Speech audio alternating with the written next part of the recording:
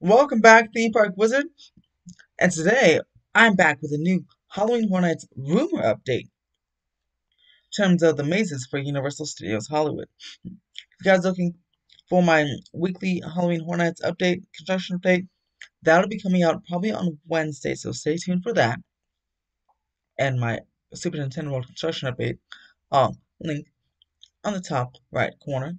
But here's the updated Halloween Horror Nights spec map for um just came out about 30 minutes ago um this morning for Halloween um Halloween Horror Nights here in Hollywood. And as you see there's eight mazes four scare zones four rides open and the Jabbawockeez are coming back. And we'll get to that show when I uh, when I get down there. But let's start with some of the things that have not changed. So Texas Chainsaw Massacre. That's been rumored for a long time. That has not changed, and it's rumored to go right by the mummy. And you can see by the A right there, that's exactly where it's supposed to be, right by the mummy location. Uh, you can see in all my updates, it's ready to go, it's just about done. B is Halloween Kills, and that's the Waterworld queue. This has been bouncing around. It's usually it went from Halloween 3 to Halloween Kills to Halloween 3. Like, it doesn't make sense to do a Halloween 3 maze considering Halloween Kills comes out literally in like September or something. So, it, it's a perfect new movie tie-in, so Halloween Kills makes more sense. That's what it'll most likely be, and that's again in the Waterworld queue. C has been confirmed. Um, and that is The Haunting of Hill House from Netflix. Uh, Stranger Things, of course, it used to be the Netflix maze, and this it was for a while, for a couple years. Uh, unfortunately, uh, it was based. It was the Stranger Things mazes were great. Some of the set design, but they definitely weren't scary. So I'm hoping the Haunting of Hill House can have the same quality of the Stranger Things mazes in terms of set design and part design, but actually get some good scares in there. Um, so we'll see if Netflix's mazes do uh, well this time. The Haunting Hill House will not be in Soundstage 29, though where Stranger Things was for a couple of years. It'll be actually in one of the Curious George tents. One of them will be for Pandora's Box, and one of them will be for The Haunting of Hill House. This was actually confirmed by John Murdy on Twitter. John Murdy is the person who runs the event, basically, is the lead designer, lead attraction, or maze designer. He obviously has the whole team, but he's the leader of the team. And he confirmed, he replied to someone's comment and confirmed that the Haunting of Hill House will not be in Soundstage 29, will be in a tent. So, probably Curious George Tent 1. And moving again, Curious George Tent 2 will be the Curse of Pandora's Box 2, T O O. Um, and also says Curse of Pandora's Box here, but um, there's rumors this to be a sequel. And hopefully, there's also, it seemed like, I'm not sure if it was the same, it's going to be the same size or bigger, but it isn't going to be in the Curious George tent too. People have spotted in the Halloween Horn on their own construction updates that they see some of the props from the Curse of Pandora's box from 2019 in the parking lot, the Curious George parking lot, or the, the little parking lot behind there. So, uh, that will definitely be in tent too, so that here, George parking uh, lot mazes will be Haunting of House and Pandora's Box. Those are official. And then we have um, The Walking Dead, which has been was confirmed by Universal when the permanent attraction closed in the walkthrough location. It said Walking Dead will return in Halloween Horror Nights. Um, of course, then we had the pandemic, so it didn't return in 2020, but it's looking to be returning here and in the same previous locations that's in that where it says the Hudson Gate um, area, right next to the Secret Life of Pets, which will not be open during the event, by the way.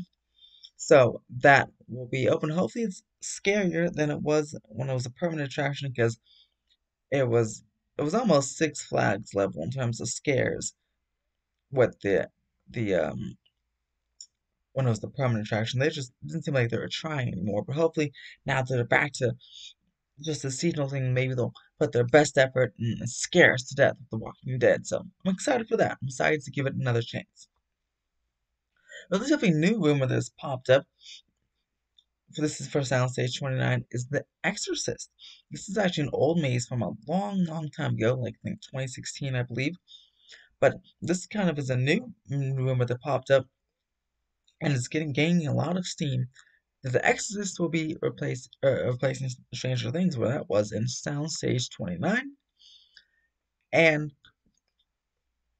that um should be really fun. I heard lots of mixed reviews. I heard some people really like this maze uh, when it was in 2016, and some people really don't like it. So I'm excited to see for myself for the very first time.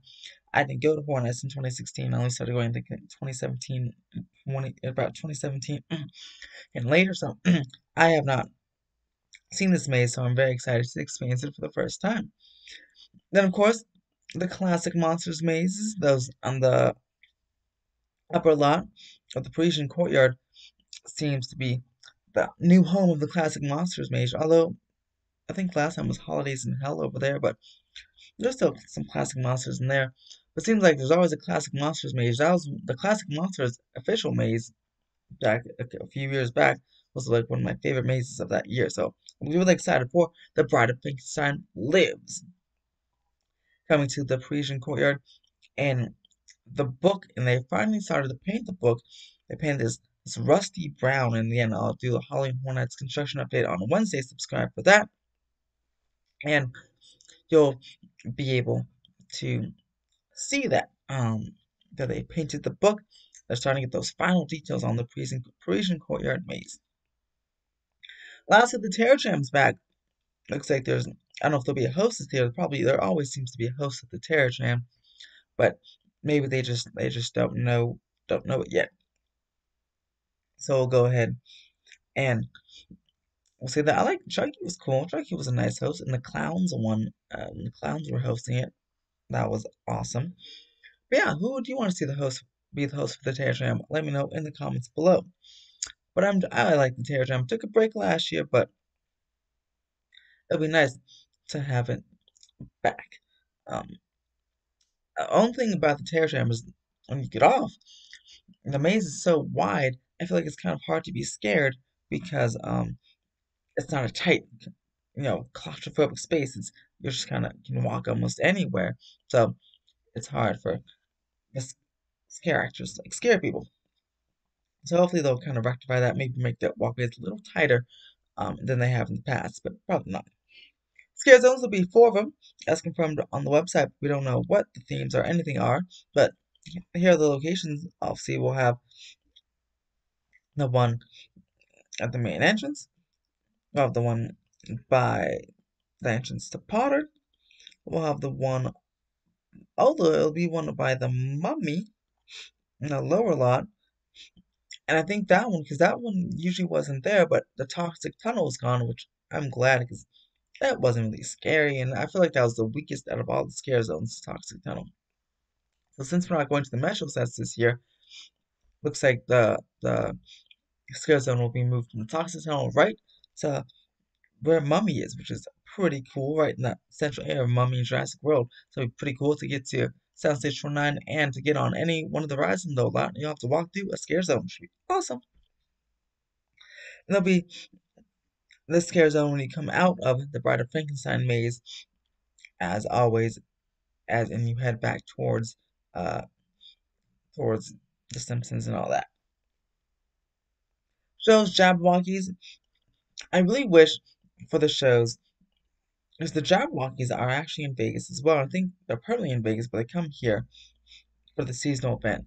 But I really wish that there'd be like horror themed show, like Knott's. Knott's Big Farm has some Knott's Scary Farm has some great horror themed entertainment, which is really cool. I wish Universal would kill uh, not kill off, get rid of the Jabbawockeez and um put a horror theme show there. And I mean, Jabbawockeez, they can make that since the special effects show apparently is rumored to be permanently gone. They can make the Jabbawockeez the official daytime show and actually give them more work. I guess if the if their Vegas schedule coincides with that, but they can give them more work. Um, make it a permanent show uh, since the special special effects is gone and it's in the same stage. But they should really give Halloween Horror Nights, a horror-themed, scary, terrifying show in uh, the special effects uh, stadium or show stage. But the Jabbawockeez are alright, I guess. i I skipped them last year. I'll probably skip them, skip them this year. And again, the attractions that will be open are Simpsons, Jurassic World, Transformers, and Mummy. Those are the same for they're open. I still don't know why. Still don't know why that they do not open up Harry Potter. Um, even if they don't open up the attractions, they they don't open up the land. They can do, especially with the that's a that'd be a, a perfect time to continue their Dark Arts projection show. I mean, they do it during the summer, or they started again a couple summers ago. Hopefully, they bring back this summer, but they can extend it all the way into the fall until Halloween, because that's a perfect show for Wizarding World of Harry Potter for Halloween Horror Nights. I mean, that's I don't know, and I, I have no under. Maybe it's something with Warner Brothers. I have no idea. Any of you know below, let me know in the comments below why they do not go ahead and open up the Wizarding World of Harry Potter. I mean, they do it in Japan and potentially even Orlando. I think. I think. Um, correct me if I'm wrong in the comments, but do it, especially since we're such a small park here in Hollywood. Open it up. Open open it up. You can even charge more for Horror Nights. You can justify a higher price point by saying, "Oh, look, we have the Wizarding World open for the first time ever," and with a new Dementors show, maybe or the Dark Arts show, or you can even put a Dementors maze in there. The latter, uh, like Harry Potter, know, movies five through through eight, or seven, part one and part two, are really dark at times, and they they lend themselves perfect for a Halloween Horror Nights spectacular. It doesn't even have to be family friendly. Those Dementors scare some adults on the Forbidden Journey. It scares my friends who are 20 something, 30 something, and uh, it scares them. So uh, it doesn't have to be like child, like kid friendly. Okay, it's not the minions. You can open up Harry Potter, you make a lot more money. You can do a lot more, uh, be add something new and fresh to the event, and you can do just so much amazing show, just so much. You don't have to open. You don't even have to have like the wand experience and stuff open. Just have the dark arts open, the two rides open, put a maze through there. Even if you don't have anything open, just have the maze through there. That'd be pretty awesome as well. I mean, I feel like every year that's just a missed opportunity for Universal, and uh, I really hope they correct that.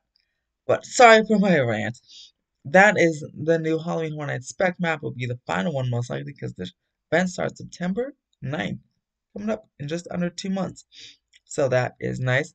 But yeah, what do you guys think about the Wizarding World of Harry Potter and opening that up? What do you guys think about the eight rumored mazes? One of them has definitely been confirmed. Uh, basically, Pandora's box is kind of confirmed. You can see it, and the um the props in the parking lot. But and Walking Dead has been confirmed by Universal, so about at least two confirmed mazes, but really three.